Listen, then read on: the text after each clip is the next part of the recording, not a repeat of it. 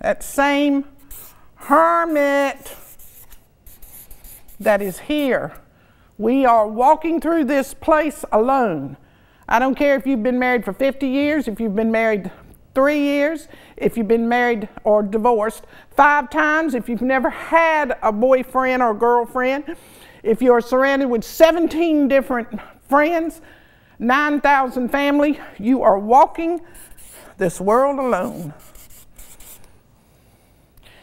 with nothing more than your thoughts. And those thoughts are an accumulation of negativity. Now, certainly you have some beautiful thoughts. There's no doubt about it. You do have some beautiful thoughts, but they are only one through, if you want to say one through, or one through, or one through.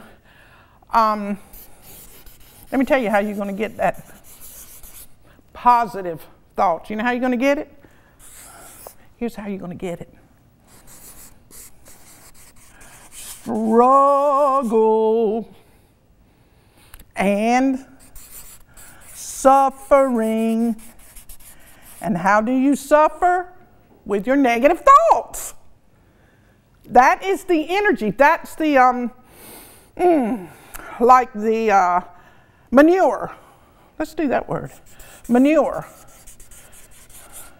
That formulates that which is pure and good, not good, pure and chaste and virtuous, the Bible says. So we'll use those words.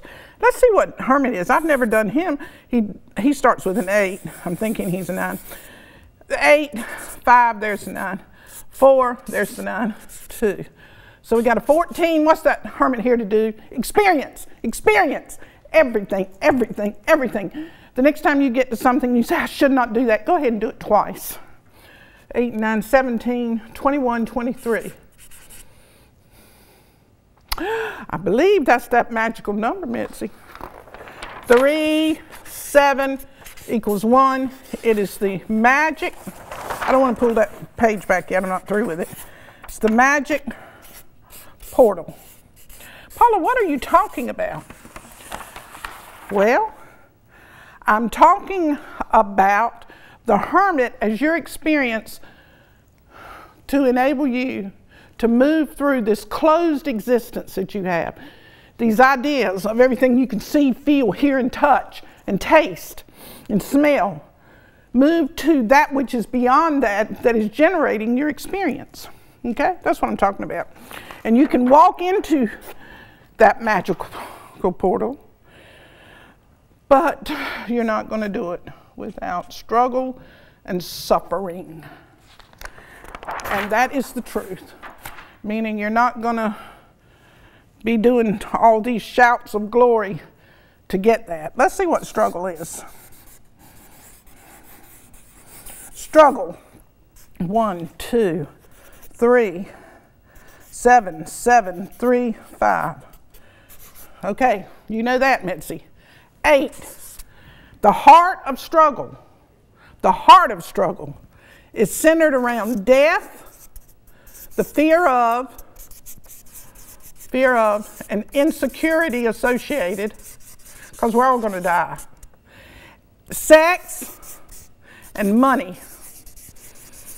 And I don't have to write any more words because you have a fear of that, that you're not going to get enough or you're not going to, you're going to lose what you got. And the same thing with money and the insecurity that is brought about whether you have a lot or a little. If you don't have none, you want more. And if you have a bunch, you're worried about somebody going to steal it. All of those negative thoughts.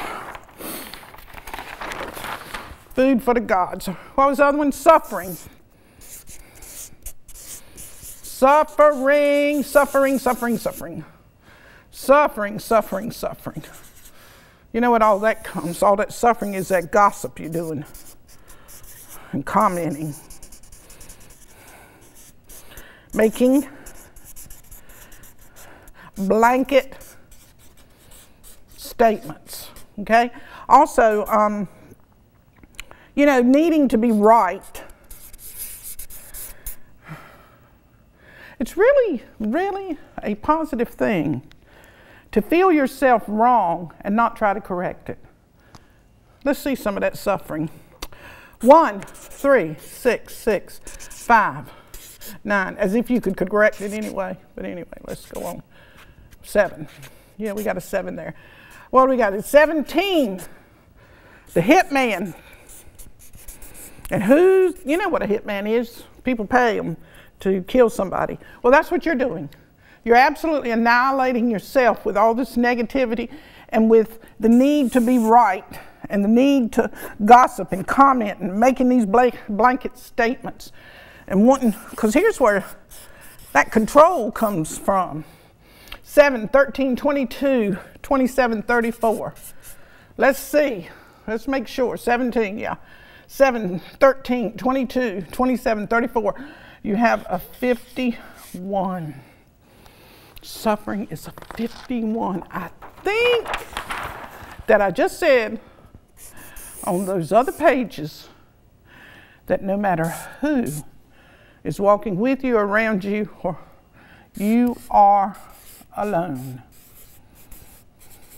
You are here to experience. That's the only true teacher.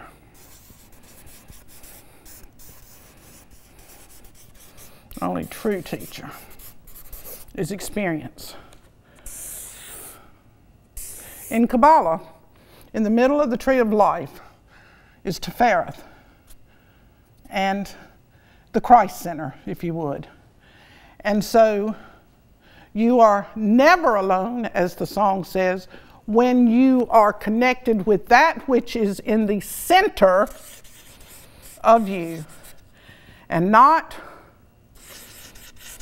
on the outside, which you identify so much with. Let's see what center is. Three, five, five, two, five, nine. Got a 10, and you can, an 8, 10, 19. 29. Let's make sure 10, 8, 10, 19. 29. The center of you, the center, the center point of you cries out all the time, cries out in the wilderness, if you will, cries out in the wilderness.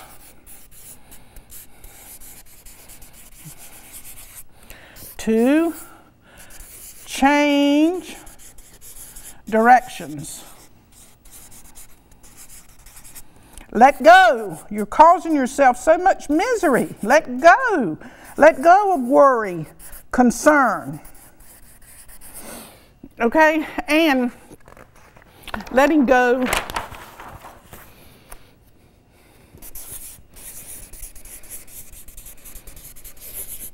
something you hold so dear.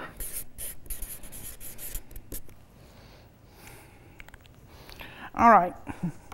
Because if you don't, anyway, it's going to be ripped from you on many different levels, but we won't talk about that today. Let's see what we're going to do. We're going to go to this one. We already pulled one out of that one, so we'll pull one out of here. Something you hold so dear.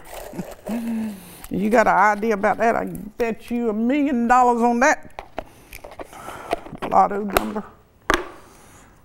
What do you hold so dear? As they got into the boat, the wind ceased. As oh, Matthew 14 32. As they got into the boat, the wind ceased.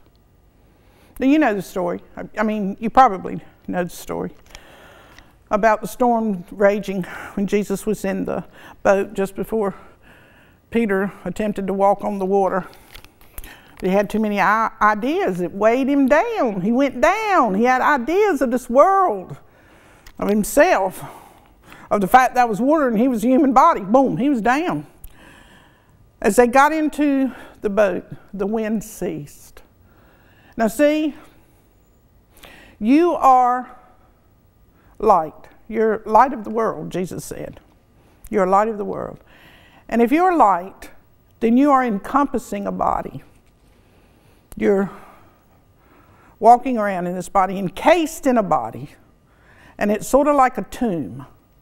And this light is in there, and it's generating. It's causing um, your brain to work and everything else that works. This uh, electromagnetic energy known as light. All right, it's in this this tomb, if you will. This that's a good thing. It's in this boat. It's in this boat. We came down here and we got in this boat of mortal flesh. The only problem is we think we have some control. And we didn't release the idea of that. But it says here, as they got into the boat, the wind ceased. Ceased. So if the wind ceased and stopped blowing, that which they were fearful of was no longer there. So pretty much what happened was they surrendered. And that's what the whole key idea of learning that your negative thoughts are the soul that you'll have to toil to get underneath to that which will liberate you. But you got to stop some of that gossiping along the way. Because that just entrenches it. Let's see, five, four. Good gracious, look at all these fives and fours and nines. All right, let's see if I got them all right. Eight, 13. Did we talk about that? To surrender is to die. Before I go on, let me make this perfectly clear.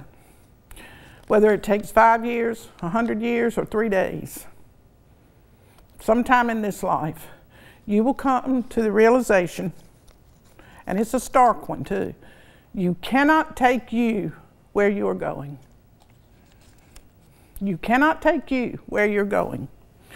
You have to die. Jesus said it so adequately when he said, You must be born again. You cannot take what you are and go into the next realm if that's a second from now. As long as you are holding on to what you believe yourself to be. Because when you walk into the second, you have carried you. So it's the same experience, it's the same existence, it's the same deal. For real. Okay, let's see. You got to surrender. You got to die. 10, 19, 24, 28, 37.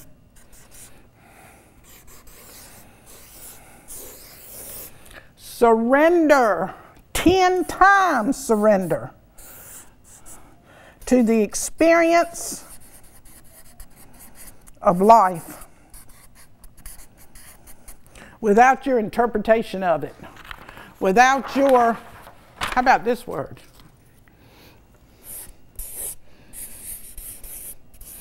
Without your demands.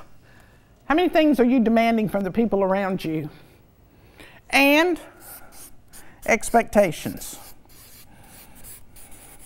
What do you expect? Get honest, what do you expect? Hmm? You get a new dress and you put it on, it looks good, you expect somebody to tell you it does. If it don't, it's going to ruin your day. Ten times are you to surrender. Ten times you are to let go of what you hold so dear. What do you hold so dear?